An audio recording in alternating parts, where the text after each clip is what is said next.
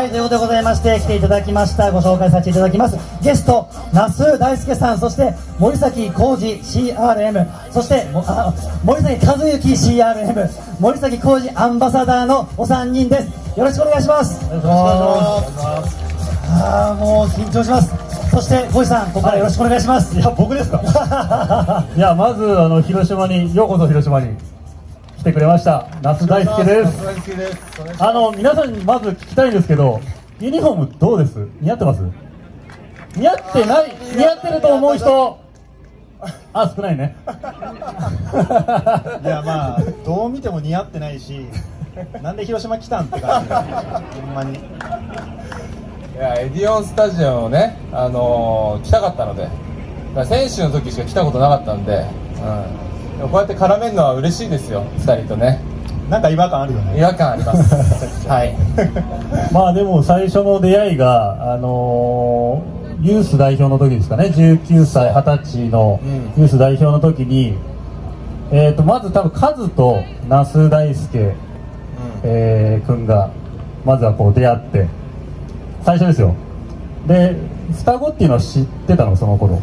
知ってた、知ってた、うん、それは知ってたけど、そう、それでその後に、はい。なんか合宿の、合宿があった時に、コージも呼ばれて、はい。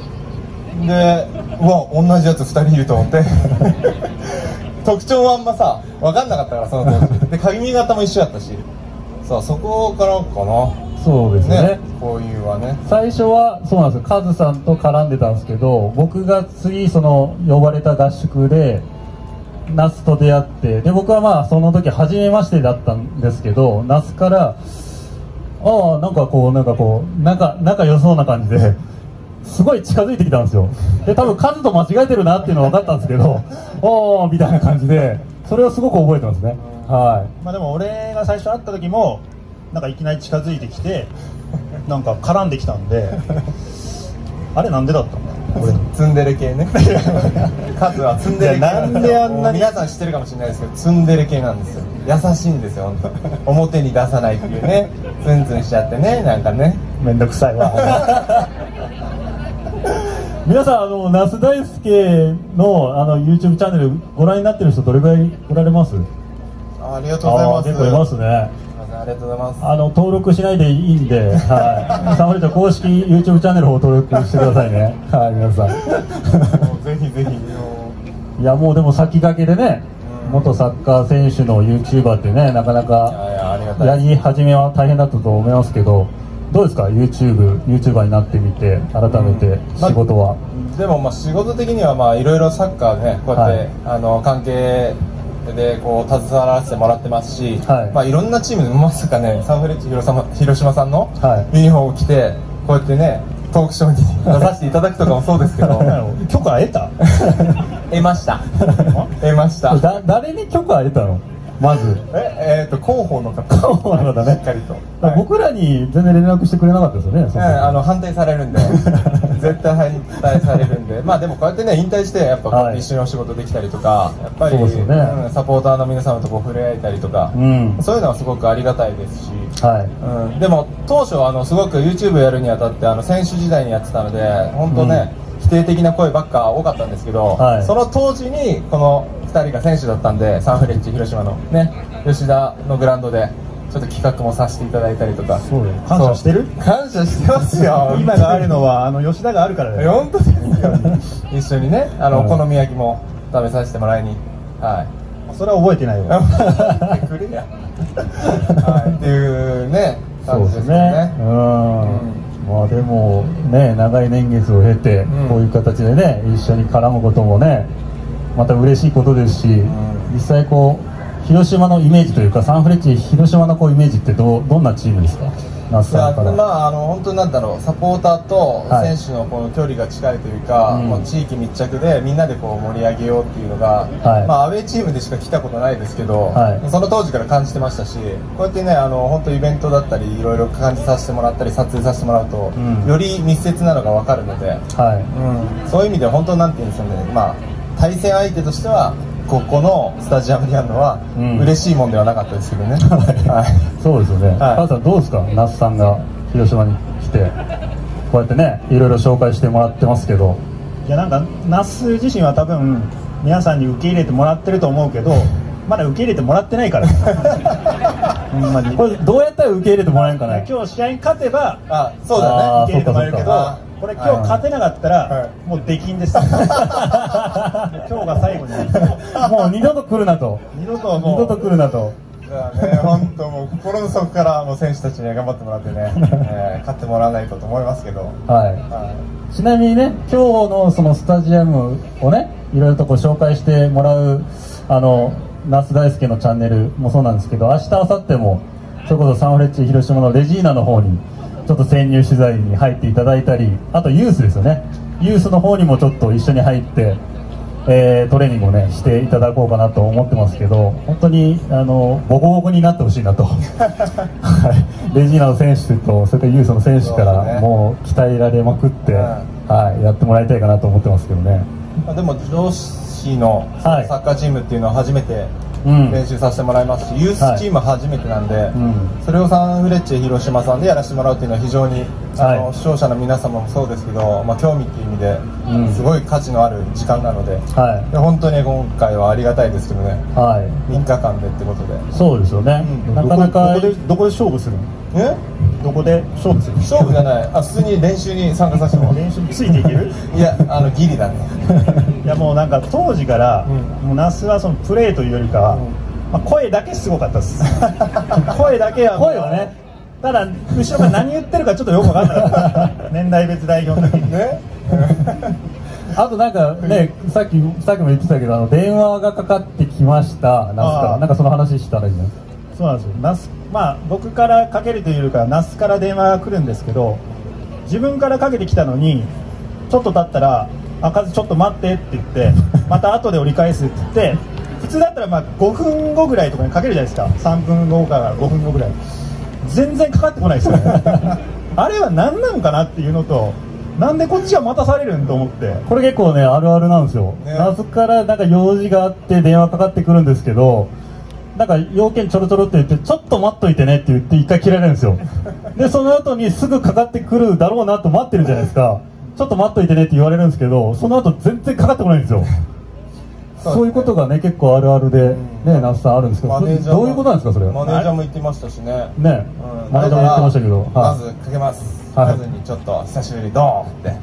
そのね最中にちょっと仕事の電話が入ってきます、はい。でそれちょっと待ってってなりますね1本目、いで5分後にかけようと。終わったら、でちょっと長け長引いちゃって。そしたらまた来るんですよその間に。ね。で違う人からね。そう。そしたら気づいたら忘れてる。そう。ねはい。どんねそれ。何や仕事通りどっちが大事なの？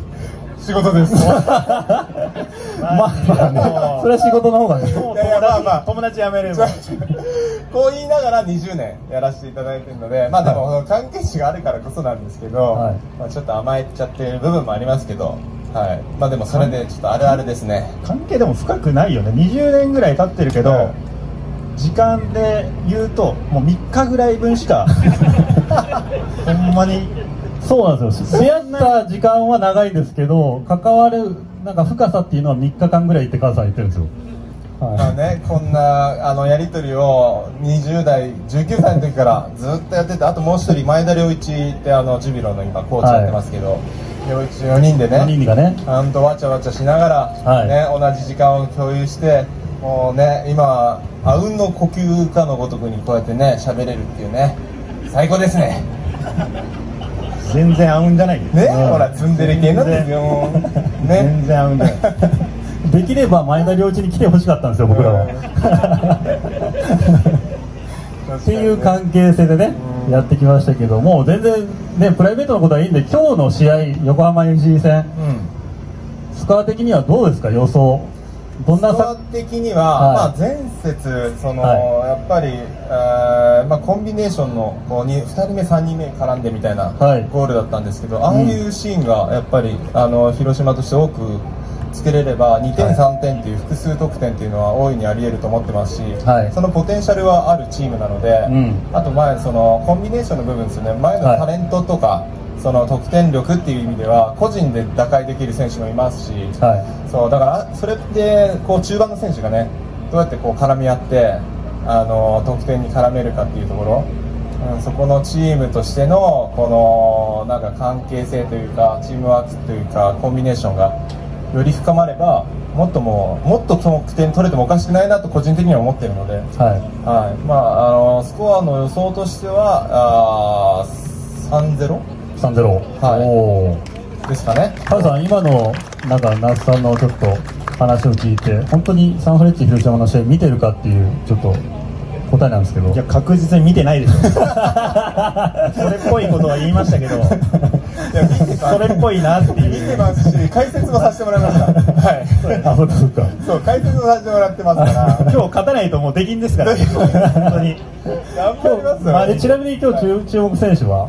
那須あののュニオン・サントス。選手、俺僕は、はい。はい、もうやっぱ、まあ、あの横浜 F・ マリノス時代からすごかったですけど、はいはい。推進力は、でも彼がそのコープラス周りの関係性っていうのが、はい。こう噛み合えば、もっと得点取れておかしくないと思ってますし、なんかあの、もう本当きっかけかなと思ってるんで、はい。外国籍選手は乗れば、うん。止められないので、はいはい。だからもうもっともっとこう得点取ってもらって。はい。うん、あの得点上位ランクね、はい。得点王争いにも絡んでもらうぐらいの、はい。感じになってほしいなと思ってますけど、ねどうですかカズさん今の？まあ今のはギリセーフ。今のはね。まあギリセーフね。今日はやっぱりサムレッチェ勝ってくれないと那須大輔出禁になるっていう話で、うん、やっぱ勝ってもらわないといけないですね。ですね、もうはい。本当、みんなで応援してって。お願いします、もう汗ダクダクで。ねうん。ですね。はいはいありがとうございます。こんな感じなんですけど。ちょっともっとお聞きしたいのが、はい。明日、明後日それこそ YouTube の撮影もされるって、ね、今おっしゃってましたけども、はい。何本ぐらいまた上がってくるんですか、そのサンフレ関係が。サンフレッチェ広島関連で3本で、おおはい、あのスタジアムツアーと、えー女子サッカーというか、ははいレディースの方と、はい。ユースサッカーの方で3本でってことで。うわーめっちゃ楽しみですね、もう僕もすごく見てるんですけども、あのコーチさんとカズさんとあのバーテのはいはい。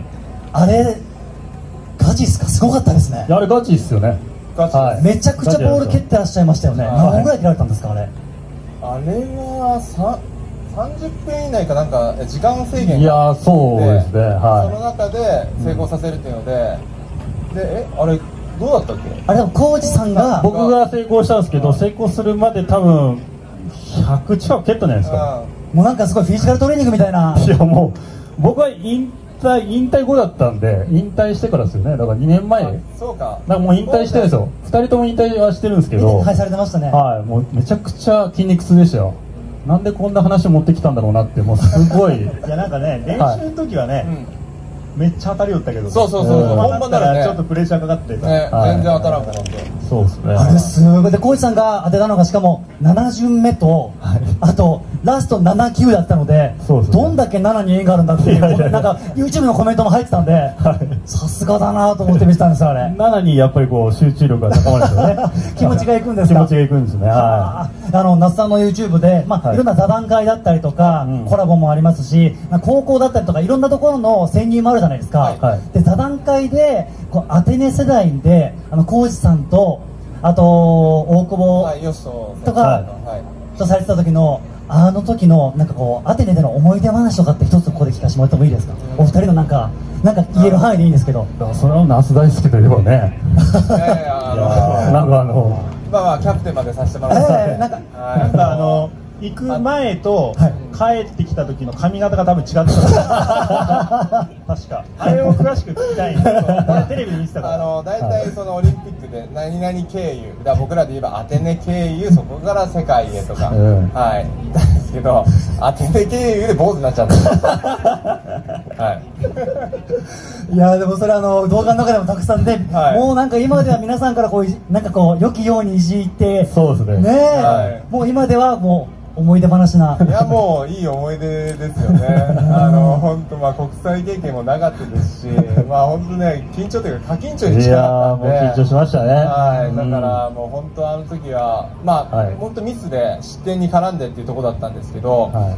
あの映像見てみたら、そんなに思うほど引っ張るぐらいのミスじゃなかったんですよ、うん。でもその当時は、現場ではもう自分の中で真っ白になってましたし。あだからあの経験っていうのはもうなかなかこうできないことって思ってましたから、はい。まあ、乗り越えるまでには結構時間かかりましたけど、そうなんですね、は大久保選手は殺しちゃろうかって言ってました。ね 当時はそう思ったよって。い、いや本当そう思ったと思います。たくさんの方々がもうそう思ったと思うので。いやいやいや、でもこうやってね、もう本当にたくさんのチャンネル登録もね、今あって、多分今ここで見てる方々も、ね、あのチャンネルを見ると、それこそ J リーグの全てが分かるじゃないですけど、はいあの選手のオフの姿が見えたりとか、うん。あの辺もなんかこう意識してされてるんですか？そうですね、なんかよりこう視聴者の方々が、あのーなんか共感だったり、うん。あの共有っていうところでなんか感じていただいて視聴していただくとよりサッカーっていうところだったりいろんな各クラブうっん、ていうところの紐付けになるのでだからより温度感というか皆様と近い形で、うん。選手も変に取り繕うことなくこうやって素の部分、素の感じでこう話せるところをうん。こう映像として残せたら最高だなと思ってるので。はい。えでもそうやって見て、わはい。知ってる選手をまたサッカーしてる姿で映像で見ると、よりなんかこっちも気持ちを入れて応援ができる、はい。そんな感じがしますもんね。そうですね、まあ、やっぱこうサッカー選手って、まあ、プレーしてる姿はね、映像で見られる方多いと思いますけど、まあ、那須のようなその YouTuber として活動する中で、やっぱそのそのサッカーの普及でしたり、その裏側のところを、うんあの皆さん多分ね、たくさん見見たいなって思われてる方が多いと思うので、本当今回、まあ、広島に来ていただいて、まあ、スタジアムもそうですけど、はい。まあ、レジナのところとユースのところっていうのは、多分なかなかね、トレーニングとか見られてないと思うので、うんまあ、そういったところをねあの発信していただこうかなと思ってます。はいまあ、やっぱそういった意味でもやっぱり、那須さんの YouTube チャンネルもはい皆さん登録した方が、それはいいですよね、那須さん。登録はしなくていいですよ。はい見るだけでいいです。見るだけです。登録しなくても見るのは見れますもんね。はいうんカズさんどうですかそれは？ちなみに僕は登録してないです。あの登録せず、再まあ見ていただいてバットボタンを押してくださ愛あるね。愛あるね。愛あるね。愛があるバットボタンを。い。はい。そうですよね。ちょっとサンフルの動画にバットボタンが多いと思ったら、それは愛だと思って。いただいて。でも本当にあの楽しみにはい。動画も、はい、待ってますので、はいぜひともね皆さんも見ていただいてよろしくお願いいたします。お願いします